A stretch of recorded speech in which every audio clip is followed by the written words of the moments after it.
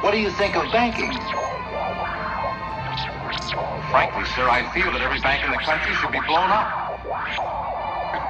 It's just that every thinking person knows that banks are completely unproductive and, and unnecessary.